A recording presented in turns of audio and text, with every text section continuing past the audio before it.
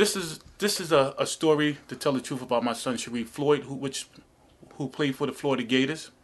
Um, he's been spreading spreading tremendous lies about me.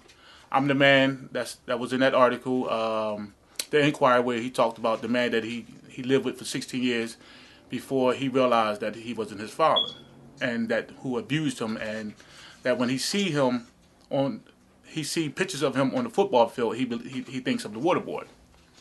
Now, I just want to give a correct story, the true story. My son never grew up in North Philly, poor, never knew where his next meal was going to come from, or anything like that. Um, I took care of my son from day one when he was born. I was there all the way up until he was almost 18, three months before his 18th birthday, when he decided that he wanted to leave. Um, my son had a, a, great life. As you can see, if you go to um, Sharrif Floyd the Fraud org, you will see tremendous amount of uh, pictures that I posted up there. Three albums of them that will, I mean, will tell the whole truth because you know pictures is a thousand words. So therefore, just go on that, that website and you'll see the true, the true life of Sharrif Floyd. And let me start from the beginning. I got a little beside myself.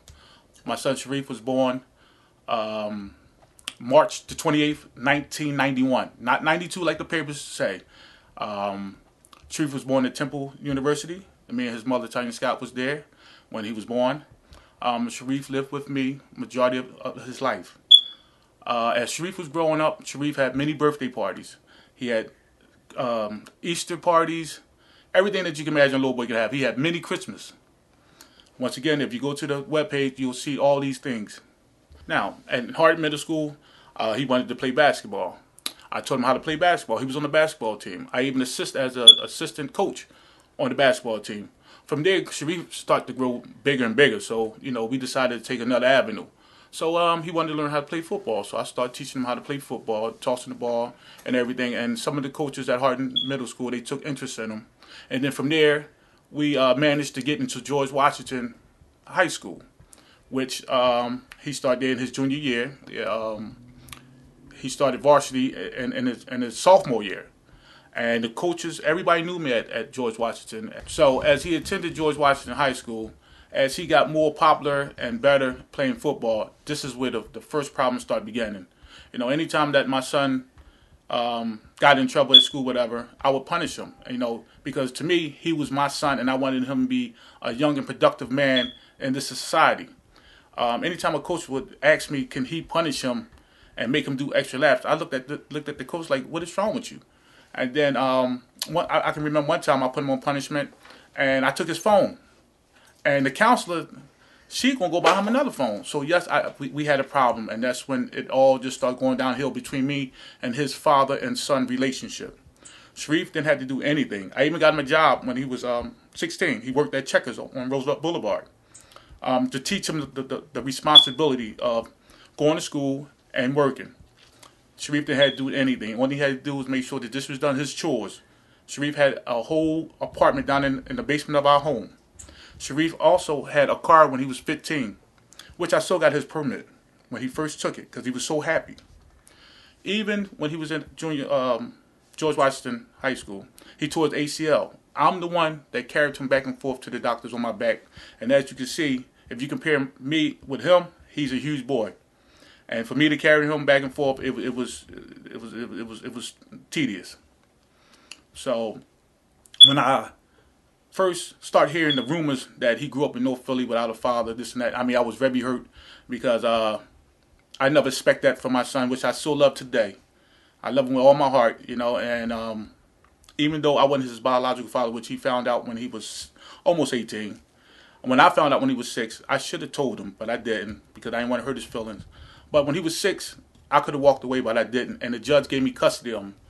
And, you know, and still to this day, regardless of all the, the, the lies he's spreading and, and, and defaming my name, I still love him to death. Um, I just want him to stop all these lies. You know, um, he's, he's hurting his grandmother, which is my mother, because she loved him. And he put an article in there about her that wasn't nice. As I reached out to the coach and other officials in the in that school district, I got no results. Everyone act like they didn't know me, and they have been all of them came to my house. The coach been to my house. The the counselor came to my house. Um, she even bought brownies.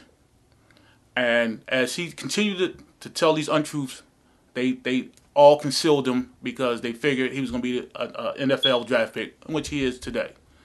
And as far as my neighborhood, they know everything was they was lies because everyone know my family, and they know everything he said was it was non-truths, and you know they they're upset too with him, and um you know he he, he even has brothers and sisters that he won't even mention in his in, in, in his statements when he do news news press and uh, Sports Illustrated.